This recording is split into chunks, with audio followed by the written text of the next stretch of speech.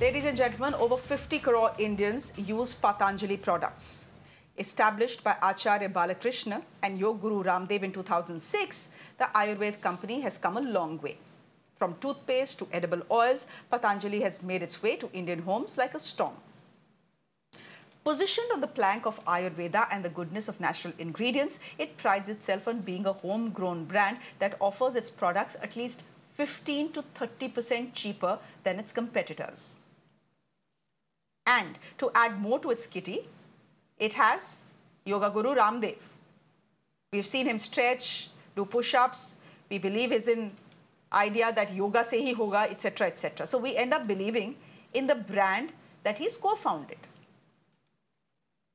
For example, if a 2017 survey was to be believed, then 43% of Patanjali households bought at least three category products.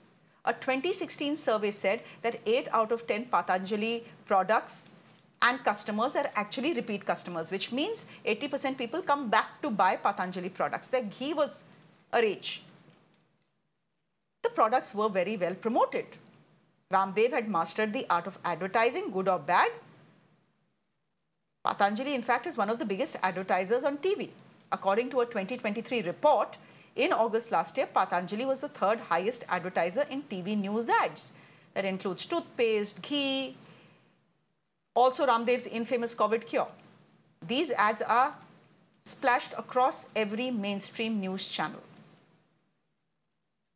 However, the advertisements have once again brought Patanjali big trouble.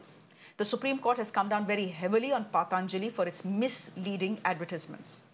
This is coming after the Indian Medical Association filed a petition saying that several of its ads allegedly misled people and projected allopathy and doctors, allopathy doctors in poor light. Now, the Supreme Court of India has banned Patanjali from advertising any product related to disease or other medical conditions. The top court has also issued a contempt notice against Patanjali and its director Acharya Balkrishna saying that they have prima facie flouted court orders. There's something for the health ministry as well. The apex court has also pulled up the union health ministry for not taking action in a case of misleading and false advertisements by Patanjali Ayurved. The court has also said that the entire country has been taken for a ride but the government is sitting with its eyes closed. The Supreme Court has now asked the Health Ministry to monitor the situation and has called for immediate action. Now, if you remember, the Supreme Court in November last year had cautioned Patanjali against making false and misleading claims in advertisements about its medicines a quick chat with my guest this evening. It's not going to be a long one. Dr. Jaylal is a former national president of the IMA joining us on the broadcast. And Dr. Amrit Raj is director uh, uh, at the Arogyadham retreat. He's joining us on the broadcast as well. Uh, good evening to you and thank you very much. Uh, Namaskar. Dr. Raj, I'm going to start with you. Namaskar ji. आपसे शुरुआत करना चाहूंगी doctor Raj essentially doctor Raj आज जो supreme आज जो supreme court ने पतंजलि के बारे में बोला है।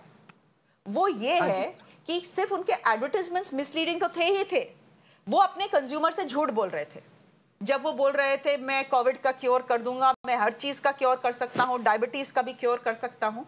वो सब झूठ था। बाबा रामदेव झूठ बोल रहे थे। आज सुप्रीम कोर्ट ने मोटा मोटा ये बात बोली है। हम इसमें कहना चाहेंगे पतंजलि ब्रांड के लिए सेटबैक है या नहीं है? नहीं इसमें हम ये आपको बोलना चाहेंगे जो साइंस है that is for the welfare and as a Ayurvedic doctor we believe in integration और अगर कोई भी आयुर्वेदिक प्रोडक्ट uh, कोई भी कंज्यूमर यूज़ कर रहा है they should use it under the guidance of a Ayurvedic practitioner तो आयुर्वेद में भी मॉडर्न हम्म। इन्वेस्टिगेशन के लिए कहा जाता है। और साथ ही साथ जो भी चीज़ आप कर रहे हैं योगा भी अगर आप कर रहे हैं तो that should be done under the expert advice of a yoga expert yoga acharya and Ayurvedic protocol भी अगर आप फॉलो कर रहे हैं तो that should be done also under the guidance of a qualified Ayurvedic doctor तो Ayurveda is meant for the welfare of human beings it is preventive and curative as well okay doctor Raj I I, I, understand the point you're making. I understand the point yes. you're making, Dr. Raj. But the fact is that Patanjali advertised like if you have coronil without any doctor consultation, आप एकदम ठीक हो जाओगे आपको होएगा ही नहीं कुछ are you someone who recommends, for example, Patanjali products to your uh, to, to your patients? No, I will say कि some of the products are very good, and what I will say कि जो आयुर्वेद में हम लोग suggest कर रहे हैं, that should be done under the provision of a Ayurvedic doctor. और साइंस जो है उसमें ठीक है उसमें प्रोटोकॉल्स हैं हम्म। Science is meant for you know preventive and curative Ayurveda भी एक साइंस है एंड एलोपैथी हाँ। भी आई हैव बीन ठीक in है some of the medical colleges where they believe in integration at the end it is all about controlling the Hmm. sugar levels controlling the cholesterol or having a healthy body healthy mind and healthy body तो इसमें हम यही कहना तो चाहेंगे doctor कि doctor Ayurveda Amrit you are use essential करें, but ठीक है under the ठीक है आई guidance of the understand what you are qualified saying Ayurvedic doctor. हाँ जी Correct. Okay. So essentially, you are saying don't be blind. don't yes. believe everything you see in a Patanjali advertisement. Anyway, now so they can't even put out these advertisements. Not just so Patanjali, I any, And if any, you any are to use any, eight minute, eight minute. And if you are to use any product, you are saying, do it under the guidance of an Ayurvedic doctor, Dr. Jaylal, well. as someone who was on the other side of this fight. Dr. Jaylal, as someone who was on the other side of this fight, what do you make of what the Supreme Court has said and done today? And I want to ask you realistically, do you think it will have any impact on brand Patanjali and people who consume Ramdev's products?